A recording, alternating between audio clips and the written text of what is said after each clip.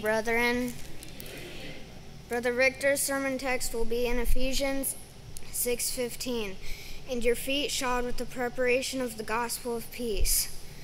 God Almighty, I pray for Brother Victor that he would bless us, and I pray that we'd have ears to hear. And thank you for all of the sermons today. In Jesus' name, Amen. Amen.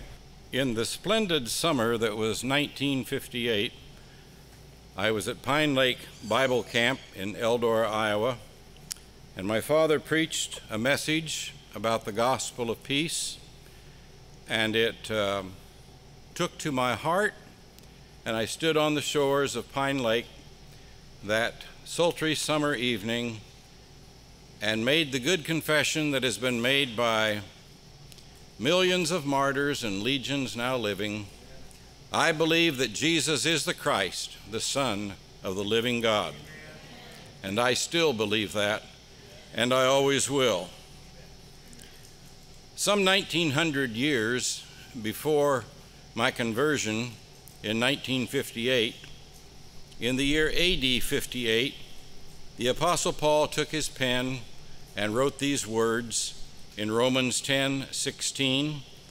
How beautiful are the feet of those who preach the gospel of peace, who bring glad tidings of good things. Do you have beautiful feet tonight? Now, Paul is quoting from Isaiah, and this passage goes a little further back in time to 700 years before Christ came. But this is what Isaiah the prophet said in chapter 52 and verse 7 How beautiful upon the mountains are the feet of him who brings good news, who proclaims peace, who brings glad tidings of good things, who proclaim salvation, who says to Zion, Your God reigns. Do you have beautiful feet? And again, in our text that was just read by the young man, in writing about the full armor of God, Paul says, having shod your feet with the preparation of the gospel of peace. The NIV puts it this way with your feet fitted with the readiness that comes from the gospel of peace. So I ask tonight are your feet fitted with the preparation or readiness of the gospel of peace? If we would walk in the steps of our Lord Jesus, and his apostles and the early Christians, then yes, we will have beautiful feet. These pertinent passages remind me of that wonderful hymn written long ago by Mary Slade Footprints of Jesus that make the pathway glow. We will follow the steps of Jesus where'er they go. Yes, even if they lead o'er the cold, dark mountains.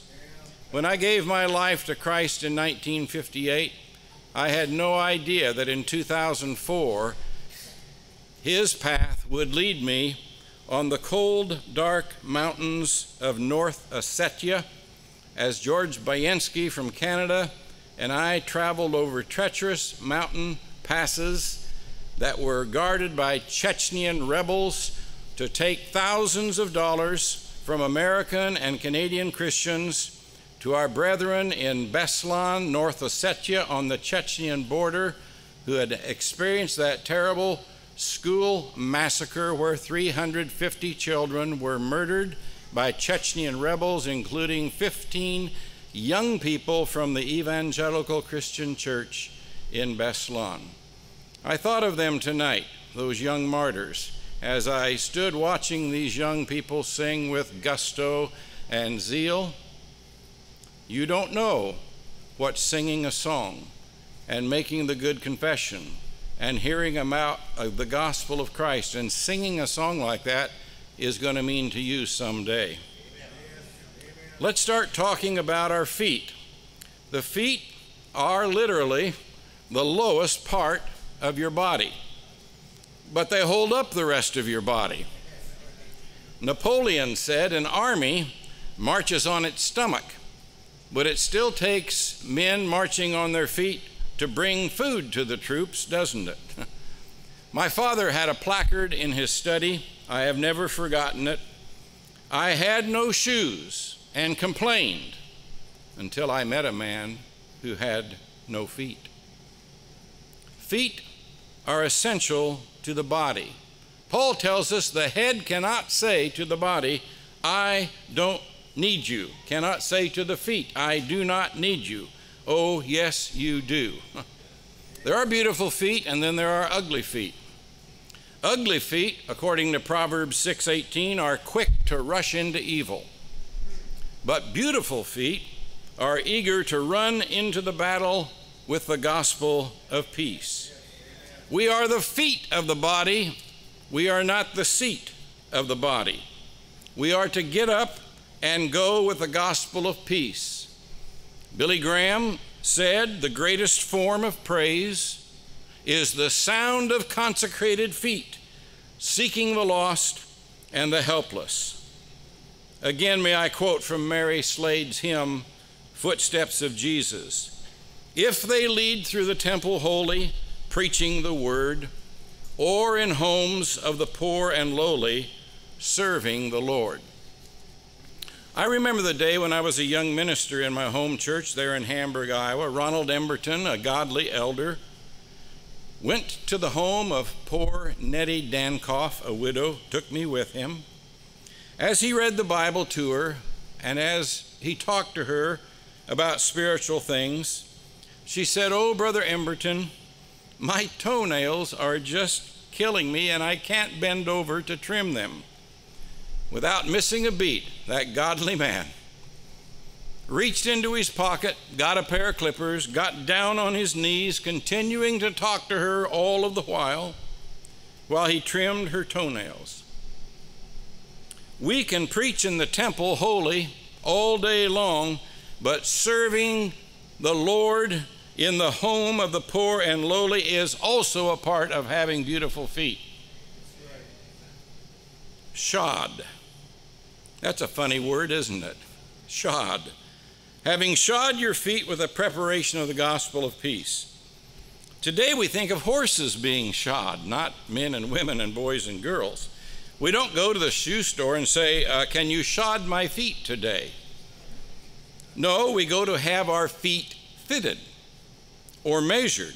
That's what my mother did with me when she took me to a Buster Brown store or a Red Wing shoe store, if you can remember those. Feet that are not properly fitted can be painful and even harmful. So I do think the NIV here is best with your feet fitted. But still remember the context warfare, armor. There's an old song, I'm on the battlefield for my Lord, and we're on it 24 7. Albert Barnes said this word shod literally means having underbound the feet. Soldiers then wore shoes with hobnails to hold firm to the ground, especially when they were engaged with hand to hand combat with the enemy. And I would uh, liken them to the cleats that are worn by college and professional football player, players today who are going up against their opponent, especially the linemen. They have to have a real grip in the ground so they can stand their ground against the opponent. And the Bible uses phrases in Ephesians 6 like take your stand and stand your ground and stand firm. Peter Marshall, for quite a while, was the chaplain of Congress and also the conscience of the Senate in our nation's capital. One day he prayed this prayer Lord, give us clear vision that we may know where to stand and what to stand for, because unless we stand for something, we shall fall for anything. That's a powerful prayer. and how America has fallen for anything in these last days. Perhaps the best known Christian apologist today is a man named Ravi Zacharias. And recently he said this, and I quote These days, it is not just that the line between right and wrong has been made unclear. Today, Christians are being asked by our culture to erase the lines and move the fences. And if that were not bad enough, we are now being asked to join in the celebration cry by those who have thrown off the restraints religion has imposed upon them. So it is not just that they ask us to accept, but now they demand of us to celebrate it too. I think of Martin Luther, who 500 years ago this October in 1517 stood in the dock and said these words I cannot and I will not recant anything, for to go against conscience is neither right nor safe. Here I stand. I can do no other, so help me God. And may God help us to stand with such conviction against sin and error in these last days. Shoes are needed for protection.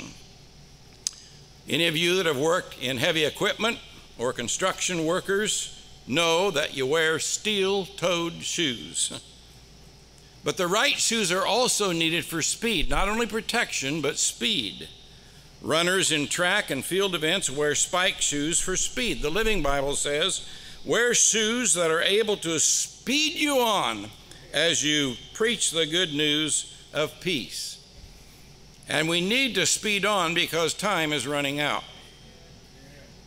We need to hasten the day of God's return by speeding on our way with the gospel of peace because so many people today have never once heard the good news of peace with God through our Lord Jesus Christ. So again, I remind you, our text says that we are the feet of the body and not the seat of the body. Don't you know, O Christian, you're a sermon in shoes? Is an old song.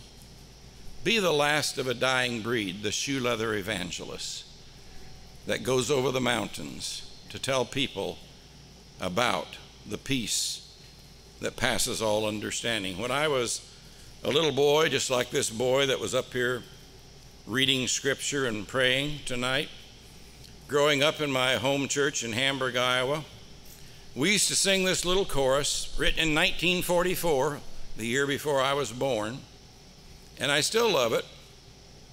I hear it on the radio from time to time. Boys and girls for Jesus, this our earnest prayer. Boys and girls for Jesus, home, at school, at play, and everywhere, we'll tell the world of life in Jesus he is all our song. There is all you need in Jesus. Won't you come along? That song really got a hold of my heart when I was a little boy, and if you've never sung that one, young people, that's one you can learn to sing too.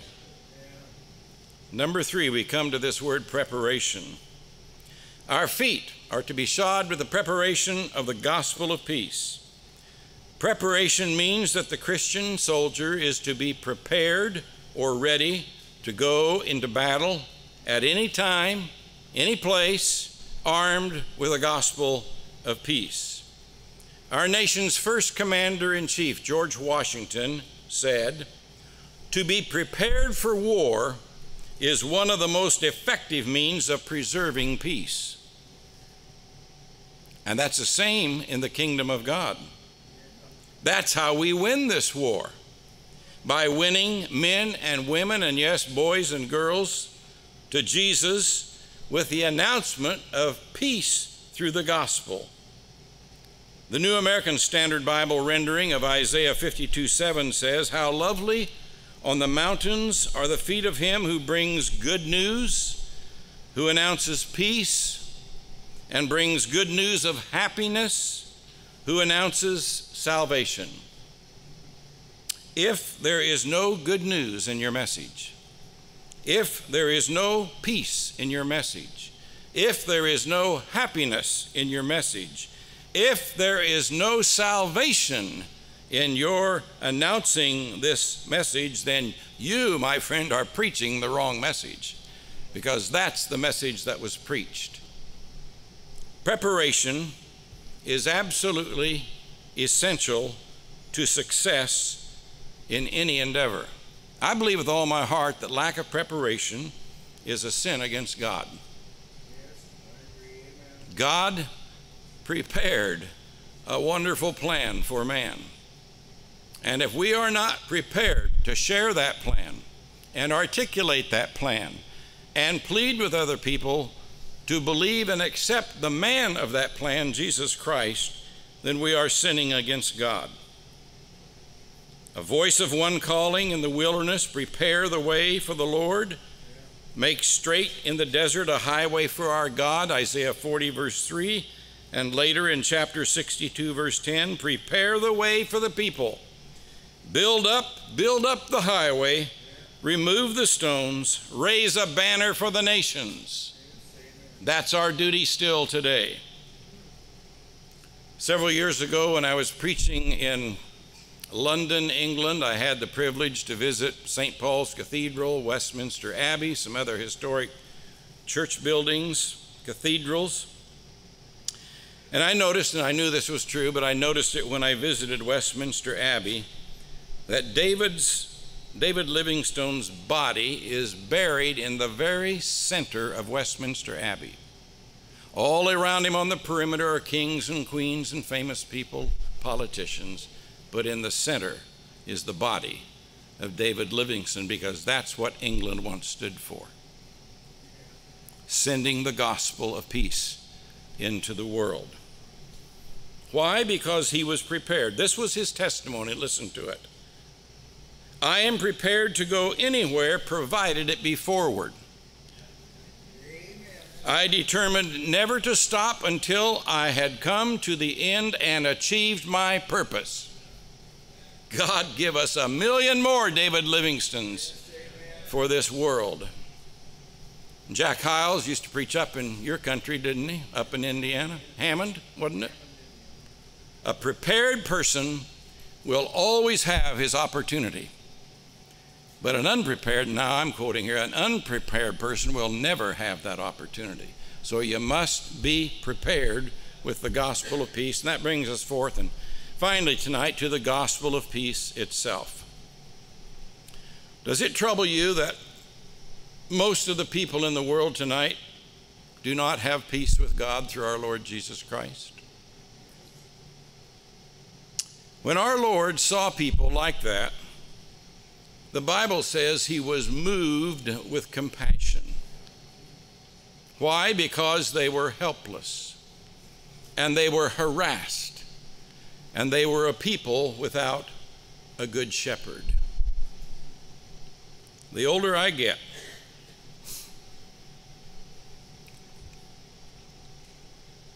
the more I feel what I did not feel when I was a young preacher, and that is genuine compassion for people who have never heard the gospel of Christ.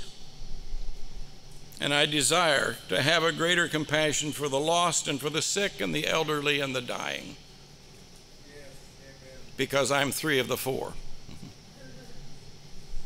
I hope you know which three. Recently, I came across this quote, and it really haunted me for several days. Man's sorrows will often not let me sleep. Jesus was the man of sorrows, right? And you don't read about Jesus sleeping too much, do you? The one time he did get to sleep, they woke him up in the boat. But he spent long nights in prayer. The Son of Man came to seek and save the lost. I think the lost was on his heart. The work of redemption is what he came to do. Every Christmas, we sing Peace on earth and mercy mild, God and sinners reconciled. Thank you, Charles Wesley, for sharing that song with us for sure. And I want to say here and now and forever and ever that there will be no peace on earth until and unless we claim and proclaim the Prince of Peace, Jesus Christ, as the only answer to the problems and the pain and the suffering and the lostness of this world. He is their only hope, He is their only chance. Charles Brent said this Peace comes when there is no cloud between us and God. Peace is the consequence of forgiveness, God's removal of that which obscures his face and breaks union with him. So let me leave you tonight with seven powerful passages of Scripture. I'll go through them quickly, like the old preacher down south who said, and in conclusion, but not quickly. so this is in conclusion, but not too quickly, because I want you to get these seven passages down. Number one, 700 years ago, it was prophesied that Messiah, Jesus the Christ, would be the Prince of Peace and that there would be no end to his government. Isaiah 9, 6, and 7. So it's still in operation today. We have a privilege and a responsibility to be to make sure that that happens. Number 2, it was further prophesied that this Messiah, Jesus the Christ, would speak peace to the nations, Zechariah 9:10. And I like that so much that that's the biblical motto for our ministry, Peace on Earth Ministries, proclaiming peace to the nations, because that's what Jesus said he would do, and that's what he wants us to do as well. But while we do this, while we proclaim peace to the nations, whether it's in America or Canada or anywhere around the world, remember the words of Francis of Assisi while you are proclaiming peace with your lips, be careful to have it more fully in your heart. Number three, Jesus Christ himself is our peace. Ephesians 2:14 Christ himself is our peace. He made both Jewish people and those who are not Jews one people they were separated as if there was a wall between them, but Christ broke down that wall of hate by giving his own body. That's in the New Century Version. I have not seen a time in my lifetime, lifetime when there is so much hatred between people in America, and it troubles me. But I also know that only Jesus can replace that hate with peace. Maybe you used to be a hater, but now you're not that way anymore, and it's only because of God's peace that came into your heart. Number four, Jesus Christ made peace possible through the highest price, the blood of his cross.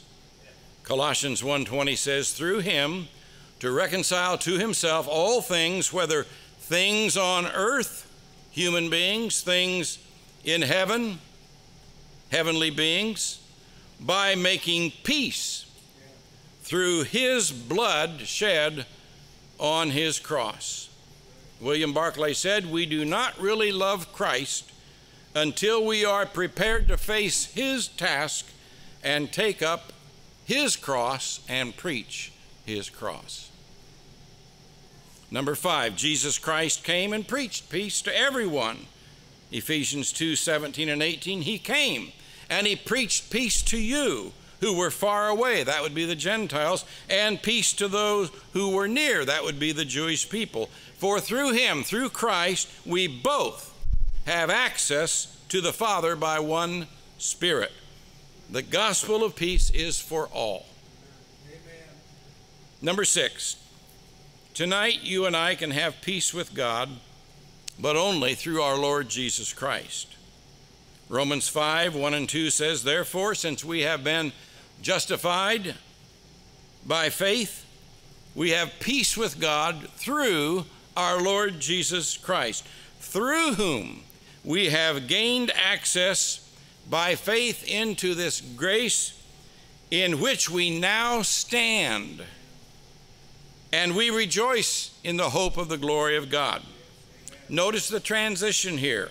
Now we stand on the firm ground of grace.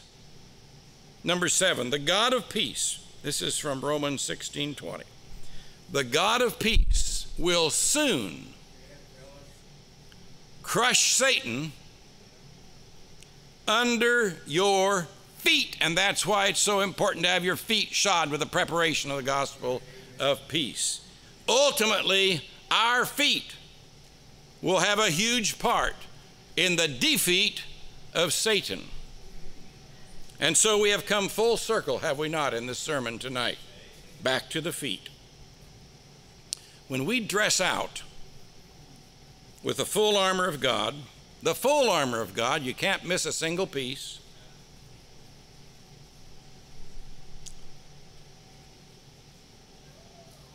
And have our feet shod with the preparation of the gospel of peace, and take our stand, this stand that we now take,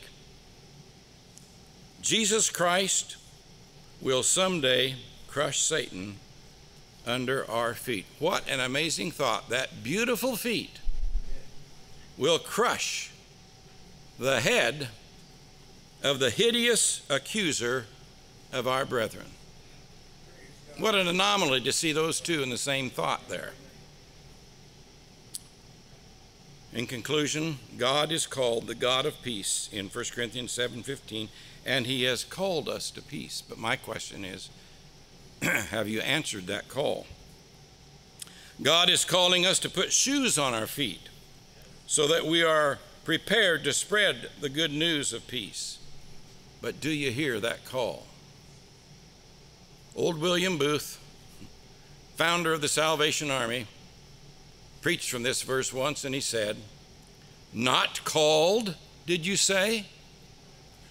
Not heard the call, I think you should say. Put your ear down to the Bible and hear him bid you go and pull sinners out of the fire of sin. Put your ear down to the burdened, beating, agonized heart of humanity and listen to their pitiful wail for help. Go and stand by the gates of hell and hear the damned entreat you to go to their father's house and bid their brothers and sisters not to come here. And then look Christ in the face, whose mercy you have professed to obey, and tell him whether or not you will join heart and soul and body and mind in the march to publish his peace and mercy to the world. And right now, I am thinking of some lines in that grand old hymn, Living for Jesus. Such love constrains me to answer his call, follow his leading, and give him my all. And then comes the chorus that Thomas O. Chisholm wrote, which I will close as a prayer to this sermon. O Jesus, Lord and Savior, I give myself to thee. For thou in thy atonement didst give thyself for me. I own no other master. My heart shall be thy throne. My life I give, henceforth to live, O Christ, for thee alone.